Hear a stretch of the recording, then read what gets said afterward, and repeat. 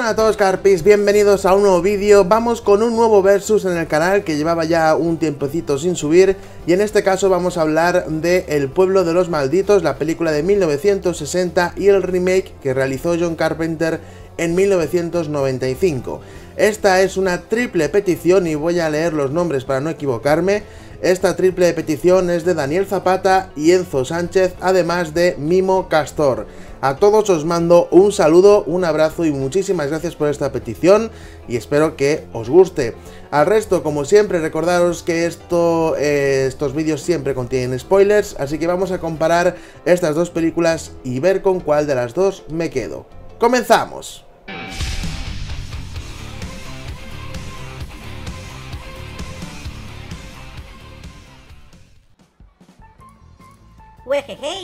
Hola, Recordad que podéis seguir a Carpi en las redes sociales, Facebook, Twitter e Instagram que aparecen aquí en pantalla.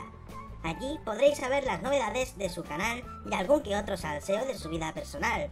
También tendréis los enlaces en la caja de descripción. Ahora disfrutad del vídeo.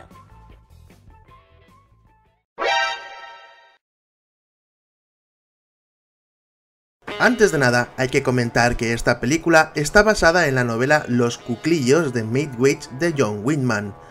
No es una adaptación, sino que coge elementos de esta novela para hacer su propia película. En 1960 se estrenó El pueblo de los malditos, catalogada como una película de ciencia ficción y no de terror, que sin embargo puede causarlo. Inexplicablemente, los habitantes de un apacible pueblo pierden el conocimiento durante unas horas, poco después, se produce otro extraño e inquietante fenómeno que parece estar relacionado con aquel desmayo. Muchas mujeres del pueblo descubren que están embarazadas. Agentes del gobierno supervisan estos embarazos para investigar si existe o no alguna relación.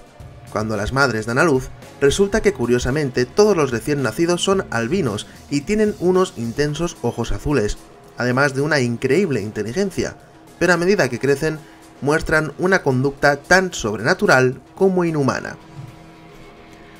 Es digno de admirar y alabar que con tan pocos medios y dinero se consiga crear un clásico tan enorme como este por muchas razones. Nula prácticamente de efectos especiales y además no los necesita, consigue recrear una tensión al saber que esos nenes son un peligro constante para los personajes y no sabes muy bien por dónde van a tirar partiendo de la base de que los chavales realmente actúan de forma exagerada normalmente para defenderse, es decir, ellos jamás inician ningún tipo de altercado, sino que las cosas que les ocurren en el pueblo les obligan a actuar de forma maligna.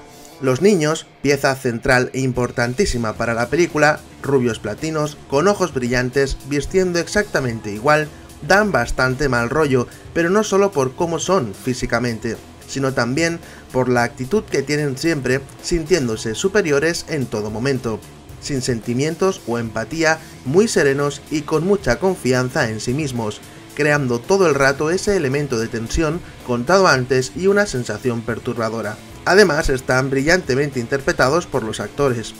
La película consigue mantenerte enganchado en todo momento gracias al misterio del pequeño pueblo donde todo esto ocurre, se cocina todo a fuego lento sin aburrir.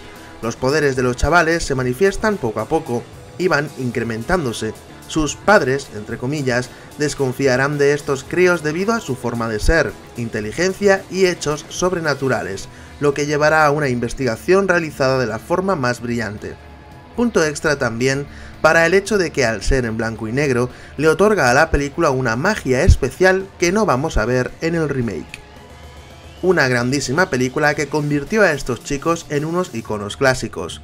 La película también tuvo una pseudo secuela tres años después, en 1963, titulada Los hijos de los malditos, The Children of Damned, también cogiendo elementos de la novela, además del remake que vamos a comentar a continuación.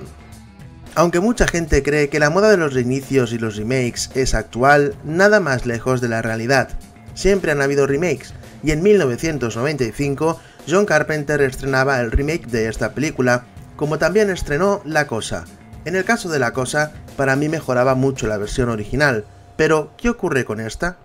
Durante unas horas todos los habitantes de Midwich, un tranquilo pueblo costero, pierden el conocimiento.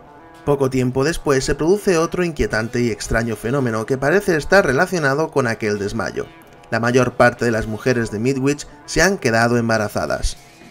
El médico de la localidad, Christopher Reeve, cuya mujer también está encinta, y una científica, Christy Alley, enviada por el gobierno, deciden estudiar el caso a partir del momento en que los niños empiezan a mostrar una conducta tan sobrenatural como inhumana. Lo bueno, sin duda, de esta película es el bien hacer de Carpenter. A pesar de ser una película de 1995, podemos notar cierto aire ochentero clásico que le queda muy bien y funciona perfectamente.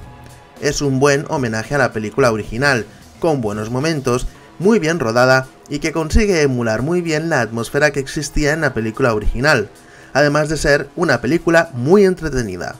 En este caso sí tenemos algunos efectos especiales, pero son bastante prácticos y están muy bien integrados. No se limitaron a copiar lo que ocurre en la original, sino que intenta aportar algo nuevo y mejorarlo, pero en mi caso no lo consigue. Lo que peor me parece justamente de este remake es precisamente ese elemento nuevo que suelo alabar en estas nuevas versiones para diferenciarse pero que para mí en este caso no funciona. Me estoy refiriendo al personaje del niño bueno, algo completamente innecesario como lo es este remake, y que se contradice con lo que la película realmente es. En cuanto a los niños, me producen menos mal rollo que los que tenemos en la película original, aunque están muy bien recreados y son bastante similares, creo que actúan peor estos que los niños que vimos en la anterior película. Tenemos a algún actor famosete como Superman, Christopher Reeve y Mark Hamill, Luke Skywalker, un superhéroe y un Jedi que no pueden con unos simples niños alienígenas. En conclusión, aunque ambas películas me gustan, en este caso reconozco que me quedo más con la original, que no con la versión de Carpenter. La original tiene un guion y una ambientación que consiguen transmitir muchísimo más, aparte de que los niños están mejor interpretados. Así que en este versus me quedo sin duda con el pueblo de los malditos del año 1960. Ya hasta que llegamos hoy, este ha sido el versus de esta semana, El pueblo de los malditos de 1960 y de 1995. Para mí ya sabéis que me quedo con la original, aunque ambas me gustan, así que me gustaría que me dejarais en comentarios cuál de las dos versiones os quedáis vosotros, con la original o la que realizó John Carpenter en 1995, cuál os gusta más, o si os gustan las dos, por cuál os decantáis. En fin, muchas gracias por ver este vídeo, espero que os haya gustado y nos vemos en el próximo. Dale like, comparte, suscríbete y dale a la campanita para estar atento a todos los contenidos del canal. Nos vemos en el próximo vídeo. Adiós.